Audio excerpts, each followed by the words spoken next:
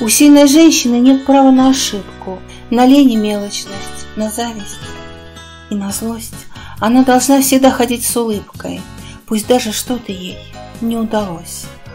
Ухоженная должна быть и красивой, хотя ей ночью долго не спалось, и выглядеть шикарной и счастливой, когда в душе торчит огромный гвоздь. У сильной женщины табу тоска и слезы, и в черном списке страх ее потерь. Вытаскивая острой занозой, ей нужно делать вид, что все окей.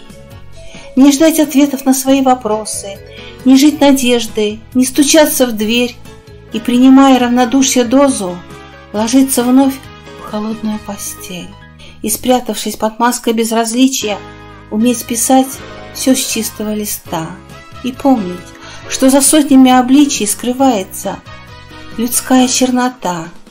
Пить вечерами крепкие напитки, будильник заводить всегда на шесть. У сильной женщины нет права на ошибку, а вот на счастье, несомненно.